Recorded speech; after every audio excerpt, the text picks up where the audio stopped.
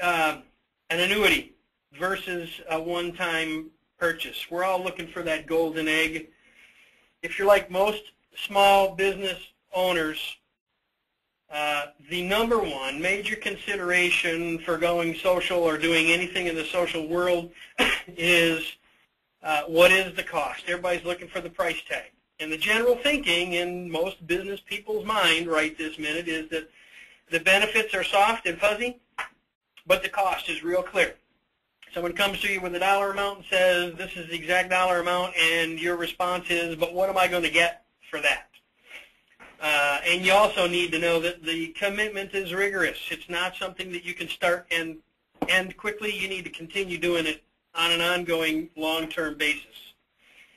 Um, my response, and I believe a lot of people who have some experience in the social arena would say that that kind of thinking is dead wrong.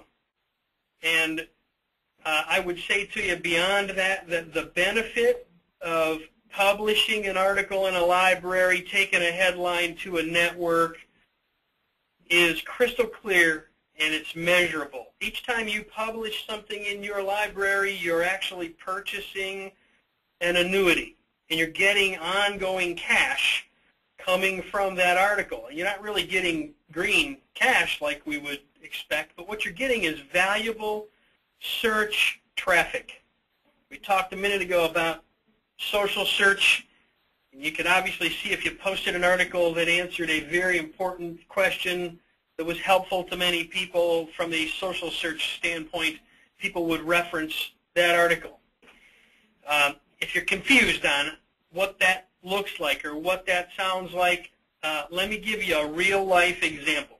In April, we posted an article that was called Defining Web 1.0. And if you don't know what Web 1.0 is, go to socialmediaattraction.com and just type in Defining Web 1.0 and you'll find that article and you'll see what it is. Very short, very succinct. For the past six months, that article has been getting an average of 200 visits a month from people that are searching for the term Web 1.0.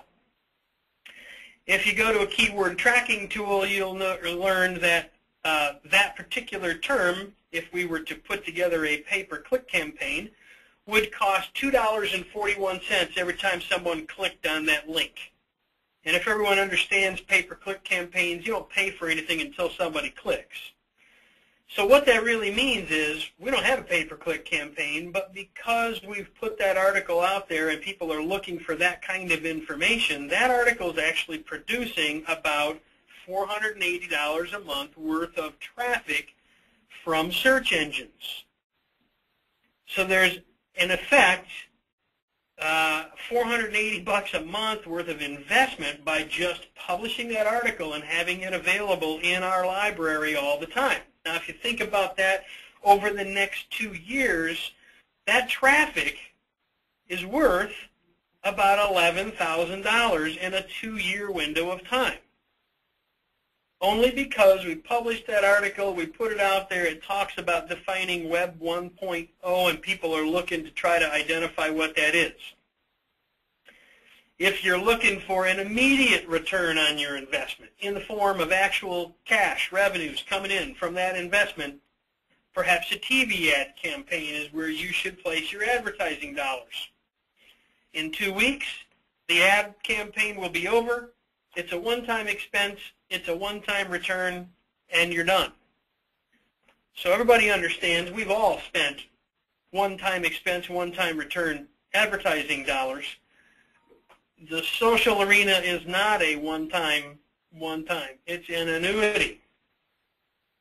The bottom line is if you're focusing on the cost of social and you're trying to determine whether that cost is going to get you an immediate return, you're missing the real financial value in social. And that is the fact that it's an annuity. It's something that's there long term. And as that network, as your audience grows, more people are able to go to and reference that information that you've posted out there in your network.